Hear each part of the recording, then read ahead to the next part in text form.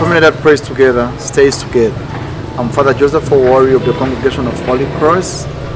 I'm very happy to begin this series of celebrating Mary with Peyton, with you, right from Holy Cross Family Ministries, Dandora.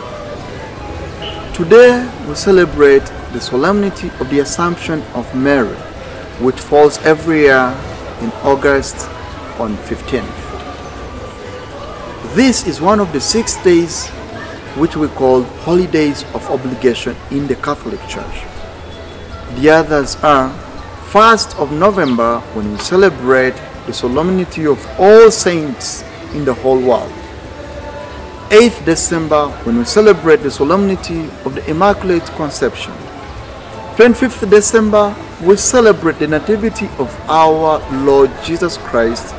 1st January we celebrate Mary as Mother of God and finally the Thursday of the sixth week of Easter we celebrate the ascension of our Lord Jesus.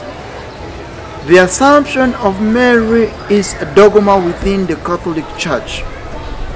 Other dogmas of Mary include divine motherhood of Mary, Theotokos. Theotokos. The other is perpetual virginity of Mary. The Immaculate Conception is the fourth. All these express truths about the life, role, and nature of Mary for us as believers, but also in the history of our salvation. As a dogma, it proposes a truth contained in divine revelation, grounded in scripture to help us understand the mysteries of God in our lives. It has a very high binding factor for every Catholic Christian.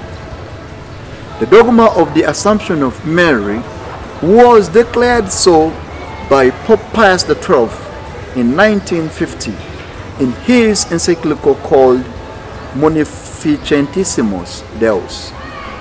What did he express in this encyclical?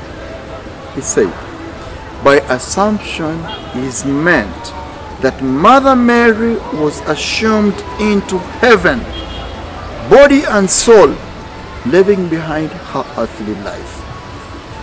It is the departure of Mary from earthly life and assumption of her body into heaven.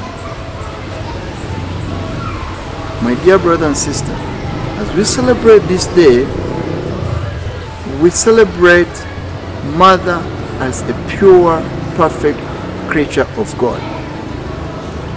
It's the assumption offers us a reflection as a prime reward of Jesus for the fidelity of her mother to the will of God his Father. It is a sign of hope for us in the resurrection to come for us.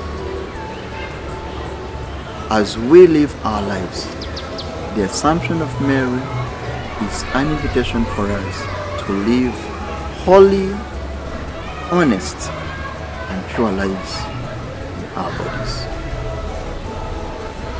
How can we celebrate this today?